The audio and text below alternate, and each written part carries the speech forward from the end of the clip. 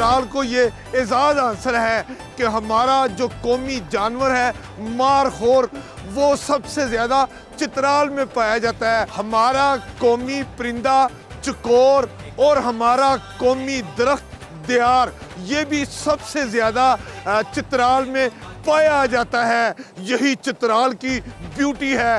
एक और बात आपको मज़े की बताएँ कि ये जो हमारा कौमी जानवर मारखोर है, ये पहाड़ों में रहता है और फिर पहाड़ों से नीचे पानी पीने की गरज से दरियाए चित्राल में आता है। अमीन हफीज़, इस वक्त अक्सबंदी ऐसी कर रहे हैं कि आपको अमीन हफीज़ दरियाए चित्राल और उसके साथ हमारा कौमी जानवर मारखोर भी नज़र आ रहा है, जो पानी पीने की गरज से नीचे आ रहा है।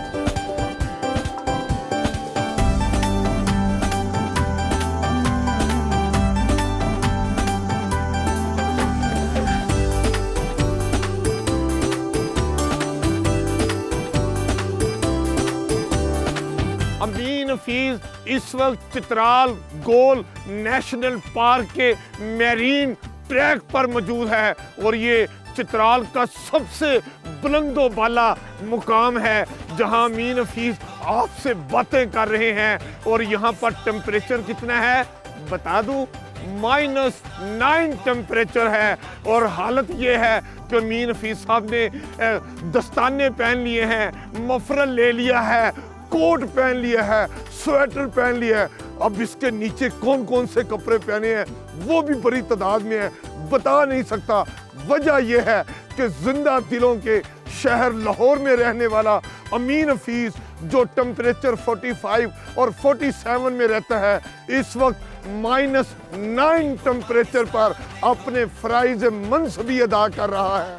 और आपके लिए खूबसूरत वीडियो बना रहे हैं, ताकि आप टूरिज़्म को फ़रोग दे सकें। आप आए, चित्राल देखें और चित्राल की ब्यूटी को देखें, चित्राल के तरीही मुकाम को देखें, दरियाए चित्राल को देखें, गर्म चश्मा देखें और यहाँ की शाही मस्जिद, शाही किला देखें।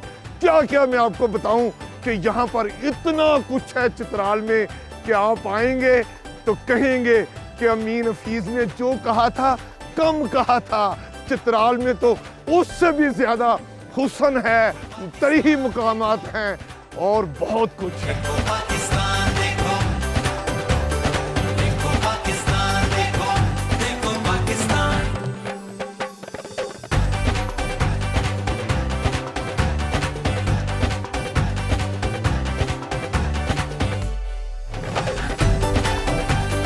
अमीन हफीज चित्राल गोल नेशनल पार्क में आ चुके हैं और मेरीन ट्रैक से होते हुए अब व्यू पॉइंट पर आ गए हैं। और ये कहा जाता है कि व्यू पॉइंट ऐसी ज़बरदस्त जगह है कि जहाँ पर पाकिस्तान का कौमी जानवर, मारखोर हर जगह नज़र आता है। दाएँ, बाएँ, ऊपर, नीचे से हर तरफ़ से मारखोर आ जाता है। आइए अब हम आपको मारखोर दिखाते हैं। इसी मारखोर को दिखाने के लिए अमीन फ़ीस व्यू पॉइंट तक आए हैं।